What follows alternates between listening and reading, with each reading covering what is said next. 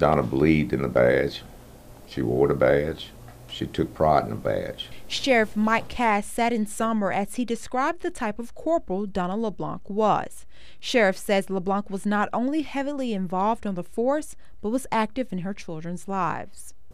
I guess just a smiling face. I mean, you, when you saw her, I mean, she went out the way to, to speak to you. I mean, she was involved in everything. Uh, the sheriff told me that Donna LeBlanc served on the force for 22 years, and today several sheriff deputies are riding around with this sticker in her honor.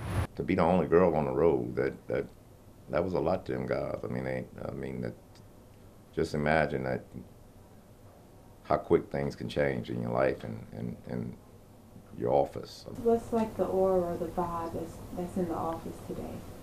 Oh, it's it's just they just heartbroken because of the fact that you know I mean who would have ever dreamed it? Especially you know you're losing your life at your house on your day off. In honor of the fallen deputy, colleagues draped their badges with a black band.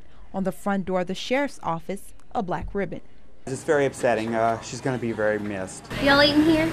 Michael Broussard is a family friend and owner of a po' boy shop in town and says this is going to be a rough time for their family. Uh, very stern. She could be. She was a good cop. She's a very good cop, very fair cop. So. At the West Baton Rouge courthouse, flags lowered at half staff, a tribute reserved in the most solemn of times. Corporal Donald Weems did a great job. Danielle Jackson, WBRZ News 2.